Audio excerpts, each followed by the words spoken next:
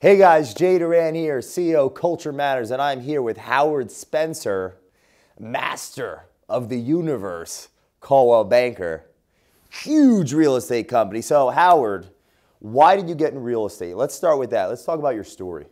Uh, my background comes from construction. I built homes for 18 years before getting into real estate, and I actually have a family background in real estate. My grandfather helped Jim Weichert start the Weichert School of Real Estate, wow. and he was an office manager uh, back in the 70s and 80s and in Branchburg, Weichert, New Jersey. My grandmother was an office manager for Flemington Weichert. My aunt is a realtor. My sister actually owns her own brokerage, Selling Virginia, down in Woodbridge, Virginia. So between my construction background and my family background of uh, real estate, I just thought it was a good transition of knowing homes and then servicing people and selling homes. So it was a family uh, business. It was in the blood. But I'm curious. There's a point, you know, in your life when you make decisions. What was the lightning strike? Like, oh, I'm going to get into real estate sales. I mean, a lot of people don't like sales. It's like negative connotation. I was never in sales. I uh, I was a car salesman for two weeks, and uh, I actually had a woman tell me that I was too nice of a salesman because you know I wanted to get her a good deal on a car and I wanted to work with her. And you know people look for that when you're selling a home. They want to make a connection, like a personal connection, because then they'll spread out the word and other people want to do business with you. But getting into real estate, um, you know, it just it was just working in construction. I was working by myself a lot, and I just wanted to get out there and you know work with more people in different houses and you know around you know central New Jersey. Understood. So you want did you wanted to take it to the next level? Yes. In a sense, in in the real estate business, but to the next level. So how long have you been in the business? I've had my license for three years. I've been doing it full time for a little over two years. Okay, now you've been doing it full time two years. What are the last two years look like, and maybe some of the trials and tribulations that you've gone through that other people watching this that may be interested in getting into real estate too, maybe they could learn from some of those things. Some trials and tribulations, and then some great outcomes. If you could talk about that. Uh, you know, getting into real estate, people think, oh, it's fun, it'll be easy, you know, make a little money. It is fun, but it's hard work. You know, you have to get out there and prospect, and that's the thing about uh, any type of sales. You know, lead generation.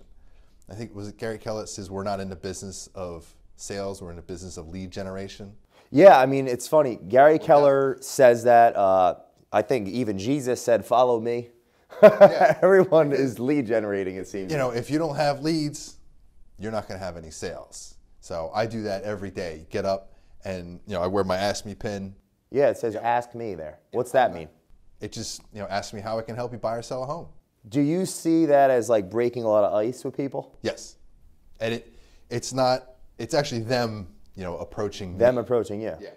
So it's not like me going around saying, "Hey, I'm in real estate. Hey, yeah. I'm in real estate." Hmm. You know, people ask me like just walking down the street, they're like, "Ask me what?" I just pull out a card and say, "Ask me how I can help you buy or sell a home." Hold on, my. So if I wore that at a bar, it's over. That would be all night long. All night long, all night long, all night. Dude, you just I didn't even realize that till right now. Yeah. You're like, oh. A friend of mine up in Allentown, uh, Sam Royer, who's actually part of the Homes for Heroes. Okay. He told me about one of his friends used to do it, and it was ask me about Jesus. I, so we we turned it into ask me how I can help buy or sell a home because a lot of people out there, a lot of agents, they don't even wear their name tag. And they're secret agents. No, yet no one. I've never seen. Uh, one gentleman I was reading a lot about. You ever heard of Jeffrey Gitomer? No old school from the South sales uh, guru. He's got a ton of books, like the Little Red Book of Selling. All that. And he, one of the big things he talked about was name tags. Yeah. He was more of a, you and I aren't really his style. He, he didn't like, I don't even want to say the word. It's an ugly word, cold calls. I don't know what a cold call is.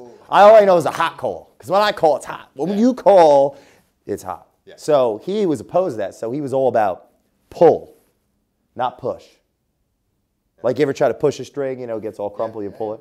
So would you say your business, right? I wanted to like get in the mind of someone that's I mean, you could brag a little bit. How's the last two years been? Have you been pretty dang good, huh? Uh, you know, the first year's a little slow. You're starting to get off the ground. A lot of people work with buyers. I was kind of have a little bit different trajectory in my first couple years where I work with mostly sellers. You know, I do expireds, pre-foreclosures, and bank-owned properties. The, the bank-owned, the REOs I've gotten into in the past year um, and it's really picked up. And I, I actually have asset managers call me personally now to handle properties because, you know, when they assign me a property, I send them an email and say, you know, if it's a new asset manager, I say, you know, thank you for choosing me to, you know, help you with your property. Here's a little bit about my background in construction and real estate and everything, and they see value in that. You know, you're providing value, and they say, oh well, you know, he knows contractors, he knows what to look for in a house, he knows, you know, what's wrong, he can handle everything since we're in Texas or Utah. So they're like, okay, you know, that's great. And now, you know, you handle the properties and they just keep sending you more and more. And it just, once you get the ball rolling, you know, that's the hardest part. Like, push, what was it, Atlas? Had to push the stone up the hill? yeah, Atlas. And, you know, getting the ball rolling is the hardest part. Keeping it rolling is a little bit easier. So at this point, you had told me before we filmed that first quarter, you're already at how much volume is going to close? Uh, we'll close first half of the year. We'll probably close three or four million. Wow, two years in the business. Now, for those of you at home that may not know this, the average agent get, gets into real estate stops actually performing real estate as a any kind of career after only 18 months. The first deal that they close, the average agent takes 11 months to get the first deal closed, and the average agent does three to six deals a year. Wow. That's the average. So we're not talking to an average agent here. We're talking to someone that's obviously doing something right. So my goal in this video is to introduce Howard, obviously, but kind of get in your head because he doesn't even know this. You could look at his face. He didn't even know this stat, did you? No, I was like, You're my, just making it happen. my mind goes like somebody asked me one time. They're like, "Is all you think about is lead generation?" I said, "Yes." From the time I get up to the time I go to bed, my mind is just going with different ideas. Like you're driving down the street, like I wear the Ask Me pin, or you know, you're just introducing to different people the bank-owned properties, um, the expireds, the pre-foreclosures. Um, US, USAA is partnered up with Coldwell Banker. We have a special program. We could do lead generation with that, um, targeting veterans or USAA people. Uh, the Homes for Heroes, their teachers, firefighters, nurses. I mean, there's there's a million different ways you can reach out to people. So You know, day one, you're in real don't estate. have- I don't have time for every. I can't do everything. You know, like you said, like the cold calling, circle prospecting. A cold what? Hot cold? What? hot calls. Hot calls, he Hot says. leads. Hot leads. Yeah. So you're the first month in the business, and this is really the biggest takeaway. What should you do as a new agent? You're the first month in the business if you want to be as successful as you you're doing. Top three things, takeaways for the audience.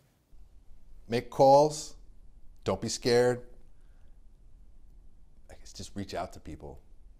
You know, your sphere of influence. You know, start talking to them.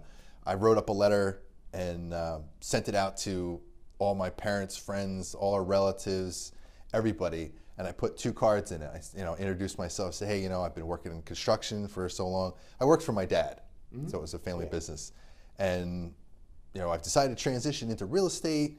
Here's a card for you, and if you don't mind, please pass one on to a friend or family member that you might know that's you know buying or selling a home. So that was like one of the first things I did, and that's what I tell people that get into business, and because they're always saying, "Oh, reach out to your sphere," because that's people you know, and that's people you're comfortable with. And you know, I tell people, I'm like, I, I give them my letter. I said, look, this is the letter I sent out. Just change a couple things on it, put two cards in it, send it out to everybody you know. And that's the other thing. Like people, I'm like, think about how many people you know. Like you're friends with probably close to 5,000 people on Facebook. Yeah. That's 5,000 people. How many people live in Philadelphia alone? Hundreds of thousands, right? Million. Like I think I it's don't one, 1.3 million. Jeez, I don't even 1.7 know that. And it's growing. that's, that's just Philadelphia. There's more people you don't know than you do know. So you need to reach out to the people you don't know.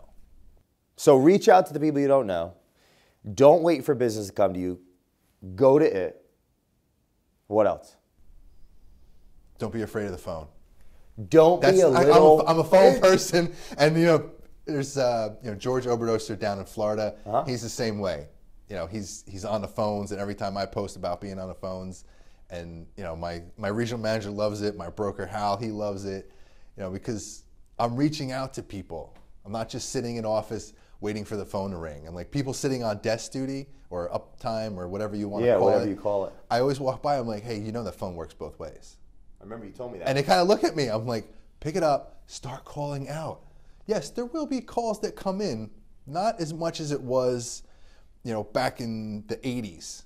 You know, when there was no internet and people, there was no Zillow, Realtor, Trulia, and all that. When you're riding down the road, you saw a sign, you had to call the office. Yep. And people on desk time, and people used to fight over desk time. But now, you know, people can just call the agents directly or they look it up on their app on Zillow or something like that. So when you're sitting there on desk time, start making outgoing calls. And biggest tip, how did you get good at the telephone? Practice. Practice outgoing calls, make the calls. I mean, how did Michael Jordan get good? I can't dribble. I don't play basketball. You practice every day. Practice every day. Howard, you're the man. This is Jay Doran, CEO Culture Matters. Howard Spencer, top performing agent, future mega agent, Coldwell banker. You guys have a great day.